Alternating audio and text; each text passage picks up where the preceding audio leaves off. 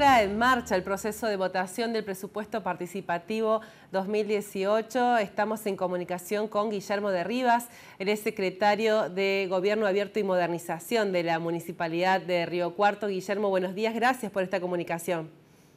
¿Qué tal? ¿Cómo les va? Muy buenos días. Bien, muy bien. Decíamos, estamos en el medio del proceso de votación, hoy eh, se retoma hoy y mañana. Sí, tal como se había, bueno, dentro del cronograma de las elecciones del presupuesto, de los proyectos del presupuesto participativo, hoy se está desarrollando la elección hoy mañana de 8 a 2 de la tarde en los 16 eh, dispensarios municipales.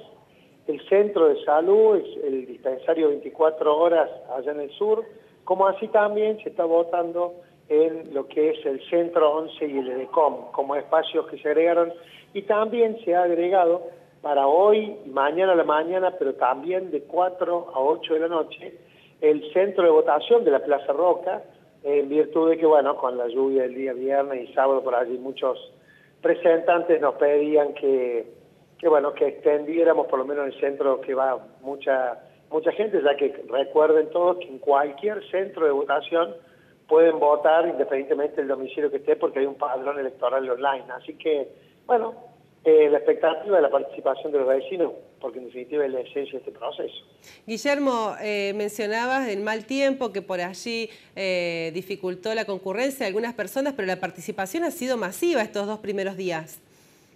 Sí, sí, sí, realmente ha superado no solo nuestras expectativas, sino que también que ha superado la cantidad de ya votantes del año pasado, ¿no? Entonces, esto demuestra de a poquito lo que es la consolidación de este programa de presupuesto participativo que ni más ni menos en la esencia está el vecino, tanto el que lo presenta como el que lo vota, eh, y ellos mismos son los motores de, que los vecinos se movilicen, que vayan a votar uno u otro proyecto, eh, porque está claro que al no ser un voto obligatorio, bueno, y mucha gente tiene toda su actividad por allí si no fuera propio este interés y esta insistencia del mismo vecino que presentaron proyectos que lo acompañen, por allí la concurrencia sería menor. Así que, pero bueno, sigue siendo un proceso de construcción el presupuesto participativo porque la participación ciudadana requiere un cambio cultural y un cambio de conducta de los vecinos, de entender de que realmente ellos pueden con su voto decidir directamente obras en su barrio.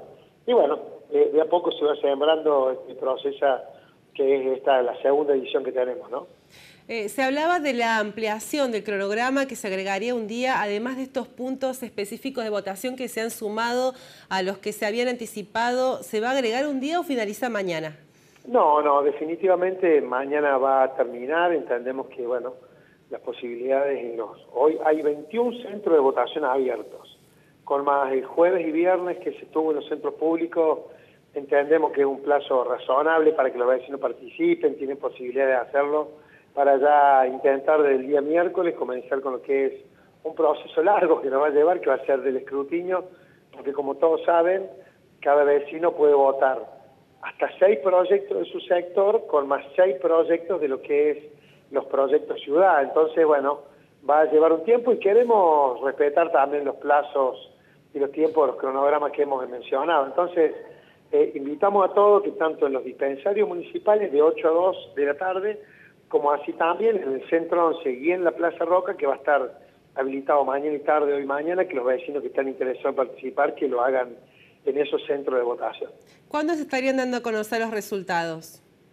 Mira, eh, como, como dijimos el año pasado, sí sabemos que el miércoles a la mañana empezamos, no sabemos cuánto vamos a terminar porque la realidad es que el escrutinio, como te repito, cada voto, cada vecino que ha votado puede votar por dos opciones y eso hace que el escrutinio sea, bueno, un poco engorroso, un poco lento, pero, pero bueno, vamos a estar desde el día miércoles a las 9 de la mañana, esta la votación va a ser en el Salón Blanco y de manera pública y abierta cualquier vecino, los medios, las instituciones y los presentantes de proyectos pueden ir a controlar cómo vamos a estar haciendo el escrutinio porque queremos que eh, este proceso sea participativo en todo sentido, no solo en la votación, sino en el control de las elecciones y por supuesto en la etapa de ejecución, que bueno, vendrá el año que viene.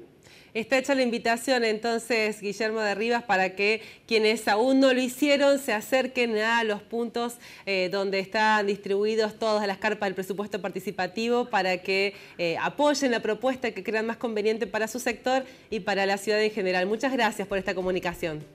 No, gracias a usted y reiterar que tienen que concurrir con DNI o concurrir con el carnet conductor o algún documento como puede ser la libreta de salud municipal que acredite nombre y fecha de nacimiento y DNI son modos para acreditar la, bueno, la persona que quiere votar. Con esa documentación se llegan y pueden emitir su sufragio.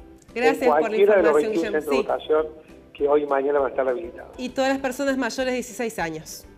Exactamente, el presupuesto participativo eh, general y el presupuesto participativo joven, los mayores de 13 a los menores de 21 hasta 21 años de edad pueden también votar el presupuesto participativo joven. Muchas gracias, Guillermo. Gracias a ustedes por el tiempo. Hasta luego. Seguimos nosotros atentos.